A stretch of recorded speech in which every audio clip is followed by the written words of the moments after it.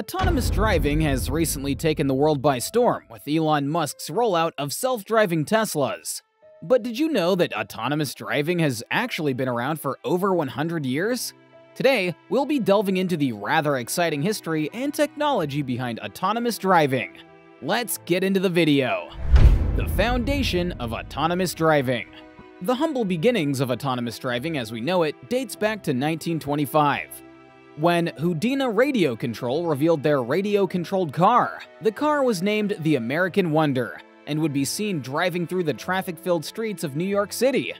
The technology featured a transmitting antenna that received signals from a remote control handled by someone outside of the car. The signals would ignite small electrical motors that would allow the vehicle to move.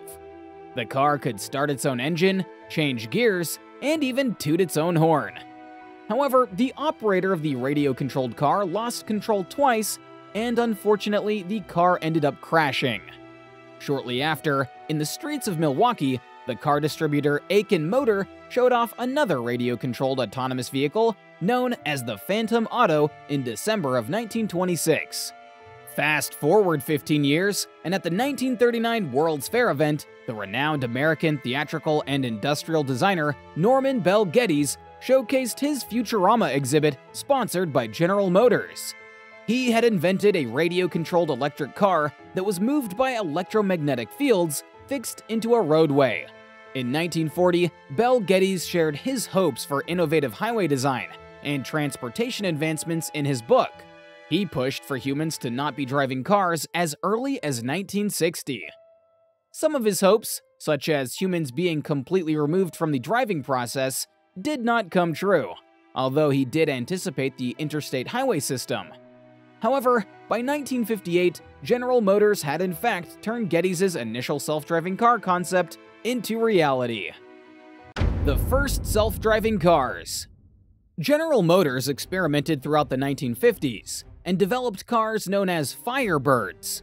These were promoted as cars that could allow drivers to relax while they traveled over highways automatically. By 1958, they had developed a car that used sensors to detect a current flowing through a wire embedded in the road. This current could then be manipulated in order to direct the steering wheel left or right. The major American electronics company, RCA Labs, was busy inventing at the same time and created a car that worked in a similar way. It was directed by impulses coming from a circuit laid into some flooring to steer, and RCA Labs even created a 400-foot highway strip that they tested their cars on. The two competitors joined forces for a while, with General Motors stepping in to collaborate in the development of the test highway. They supplied two cars with radio receivers, audible and visual warning devices, and were able to simulate automatic brake control, steering, and acceleration. All of this was exciting and successful, and it was expected at the time that the system could be commercialized by 1975. From lunar rovers to smart cars. The 60s were an exciting time, with futuristic developments occurring in both autonomous driving and the space race. Researchers were beginning to think about how they could land vehicles on the moon and drive them around. This led to the production of the Stanford Cart, which was originally designed as a lunar rover. It was a simple piece of equipment basically just a cart, equipped with a video camera and controlled by a remote control with a long cable.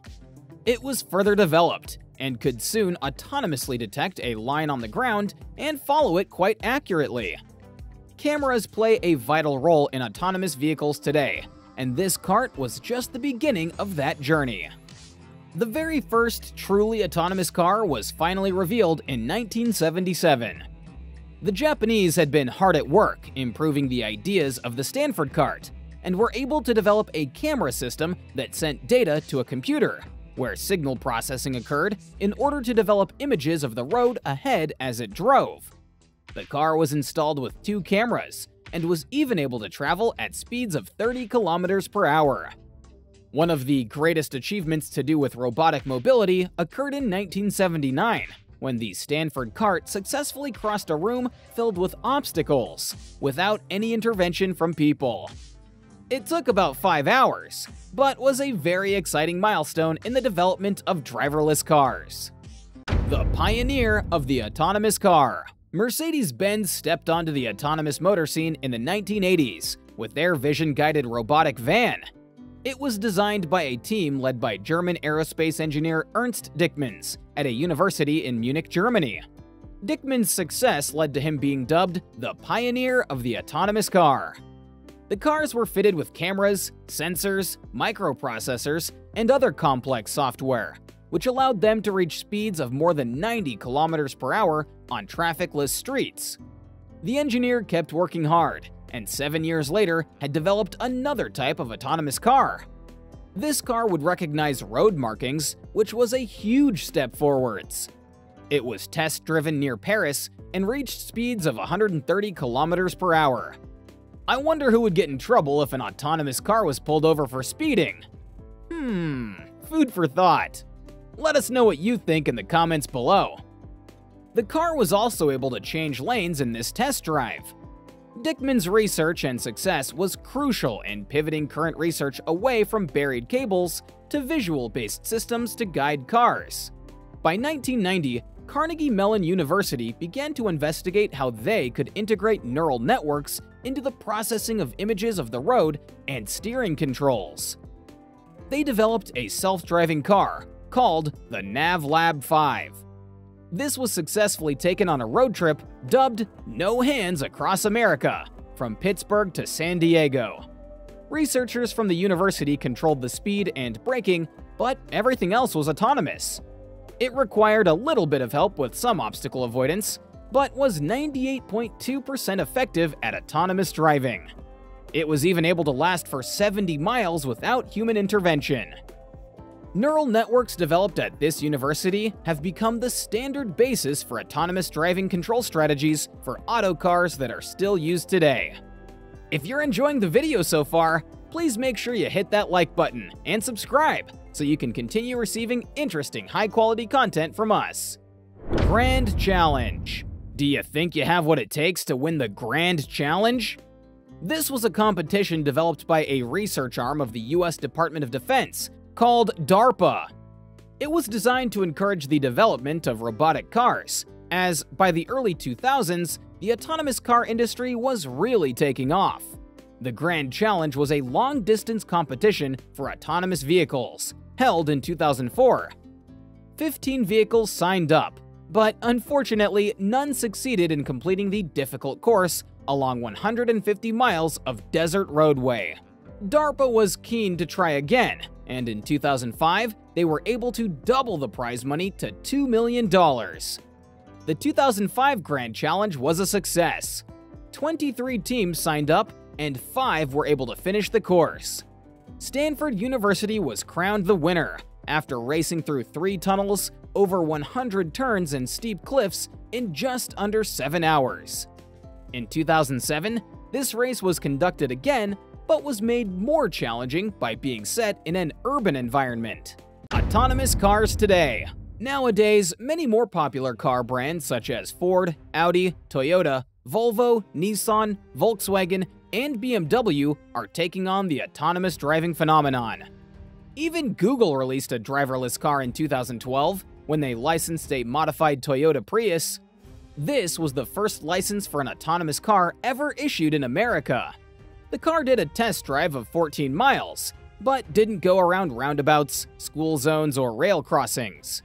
Despite all of this, it still passed the test, but we aren't quite sure how. Driverless cars come with a whole range of safety and legal issues, which has led to some car companies stepping down from the challenge. Uber even stated that they weren't going to use them as a result of safety concerns, legal issues, and it all costing way too much money. Elon Musk stepped onto the scene with Tesla's Autopilot, introduced in the Model S, which was announced in October of 2014. Their autopilot technology was installed as a software update for their cars, allowing them to autonomously drive. A self-parking feature was added to a 2016 update. However, disaster struck in 2016 when the first fatal crash with an automated vehicle happened in Florida.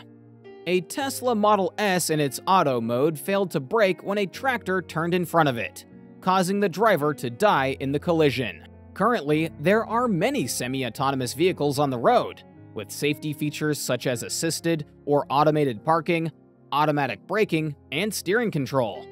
The technology has come a long way, and sensors and GPS systems are becoming more and more advanced as further research is done in this field.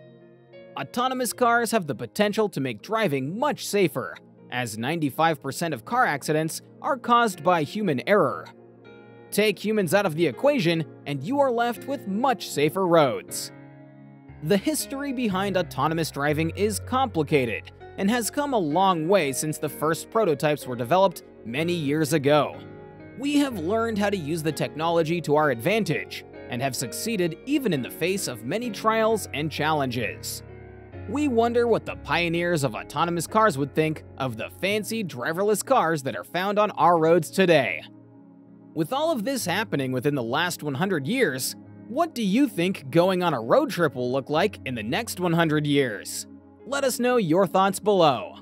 Thanks for watching, catch you in the next video.